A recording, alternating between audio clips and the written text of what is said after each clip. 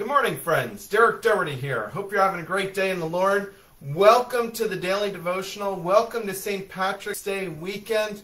Welcome to Memory Verse Friday. Hope you're having a great day. Looking forward to the weekend. And friends, it is St. Patrick's Day. My last name is Doherty. I've got some Irish in me. But one of the things is I've never experienced, quote, the luck of the Irish.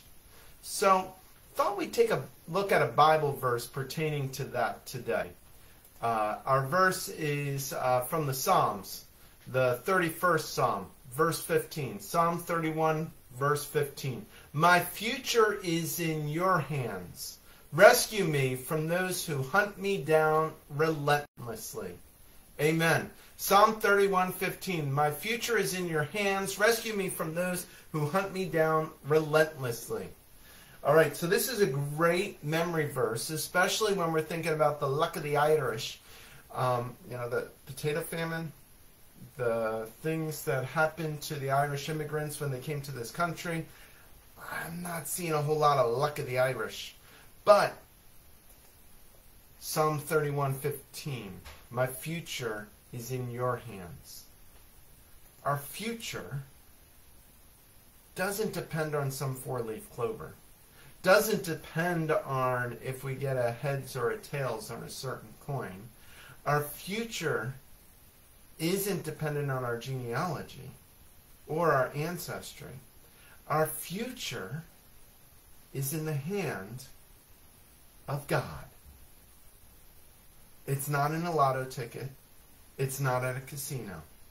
Our future is in the hand of the Almighty God. So, friends, please don't go basing your life off of luck. Instead, follow the one who created everything, the one who wants to hold you in the palm of his hand. Let's pray.